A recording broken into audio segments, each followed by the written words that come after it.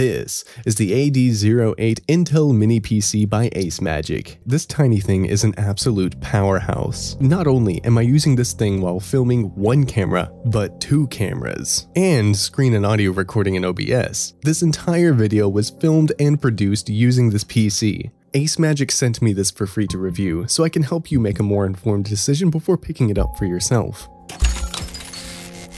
Real quick, let's go over aesthetics here. This is a gorgeous little PC, and the tower is so well designed. The lighting is very tastefully done as well, and they didn't overdo it on the RGB stuff. The computer comes with its own first-party app that controls the lighting. You get an auto setting, rainbow, breathe, cycle, and off. You can toggle the lighting on and off if you want, and you get a bunch of different patterns to choose from. I kind of like to just keep it on auto. The on button on the PC is actually a wheel that you can turn to toggle between three different fan settings. Ace Magic did a really good job with the design of this thing, and it seems to dissipate heat pretty much flawlessly, so there's nothing to worry about there. Even when the fan's on high, it doesn't get that loud. This is just yet another design choice by Ace Magic that screams they didn't have to, but they did. They didn't have to implement a manual control wheel for the fan settings. That's something I've literally never seen on a PC before. It's so helpful.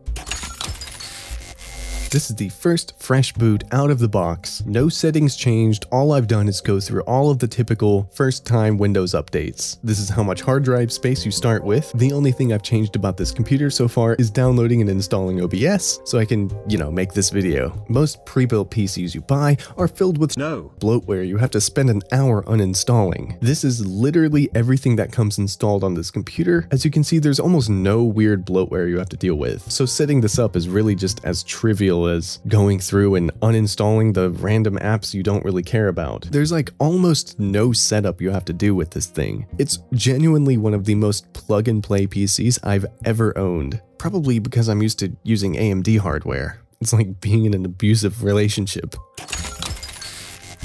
Now that I've gone through all that, I've done all my personalization, here's the DX Diag. AceMagic sent me a model that comes with 16 gigs of RAM and a 512 gig NVMe SSD. This is an Intel PC, so you get integrated Intel UHD graphics. It's an Intel i9-11900H with 8 gigs of shared integrated VRAM. Sounds like a lot, but it's gonna fall short when you get into gaming and stuff. More on that later. And what's great is that this thing is upgradable. It is so smart how they did this. The side panel on the tower here is magnetic, so this thing is super easy to take apart. Not in the kind of way where like it's gonna fall off if you bump it or something. It's on there, you have to really tug at it. They made it super accessible for anyone to just open it up and immediately see the components that they know most people are gonna wanna upgrade anyway. You just pry open this spot right here, and you now have exposed the RAM, the SSD, and check that out, there's a SATA slot for a SATA SSD. It's just a nice touch. So yeah, I basically upgraded this thing right when I got it. I've slapped my own SSD in here and I'm chilling. God, I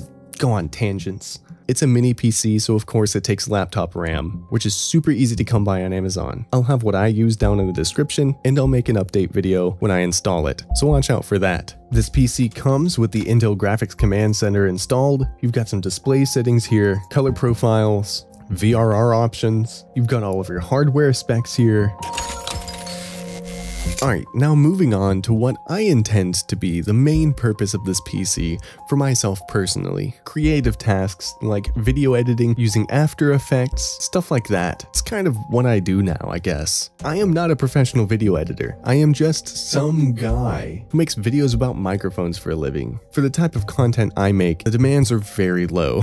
This thing handles Premiere like a champ. It's very snappy. Not only did I edit the video you're currently watching, but also the previous video on my channel as well. Honestly, it is so smooth. I get really good performance, especially after working for many, many hours. I haven't run into a single issue so far. So first up, we're doing Rise of the Tomb Raider, because I'm kind of just curious how this thing is going to perform in a fairly demanding previous gen game. For a little PC like this, cutscenes are pretty taxing, so you're kind of going to be hovering in the low teens. I wanted to test this out in the most demanding part of the game. To sort of push this little PC to its absolute limit. So here we are in this little main town that is sort of notorious for having bad performance. I'm honestly kind of surprised by this. I'm kind of impressed. Going down to the lowest preset, gets me a decent 20-ish frames per second. Next, an oldie but a goodie, Borderlands 2. And honestly, it's looking really good. I've even got depth of field turned on. This is really, really smooth so far. For a mini PC, pulling off 30 frames per second on a game like this is totally fine. It's not bad. 30 frames per second in Borderlands 2 on high settings. Another oldie but a goodie?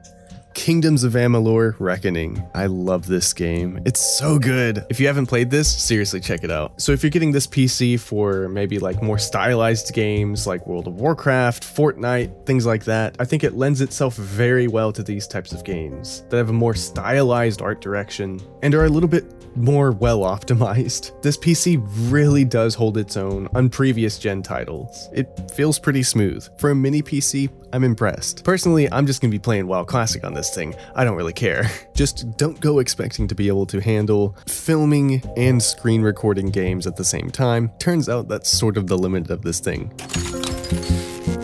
So yeah, this little mini PC is actually awesome. I think this PC is completely worth picking up. Aesthetically, it's gorgeous. Gaming performance is definitely on the low end. You're going to be getting 30 to 40 frames per second on older gen games. Things like Fortnite, World of Warcraft, Dota, League of Legends, Counter-Strike, Apex Legends, you're going to get pretty good performance on games like those if you're running them at low to medium settings. Where this PC really shines is creative tasks. For me, I make videos for a living. It performs exactly as well as I need it to. I'm able to use Photoshop, After Effects, Premiere, and Audition to the fullest extent that I need to use them for what I do. I'm not making movies with this thing, I'm making ads and microphone reviews. So yeah, if you want to pick this thing up for yourself, I have an affiliate link down in the description. Thanks Ace Magic for sending me this to review. I was kind of just expecting to roast it, but no, they did a good job.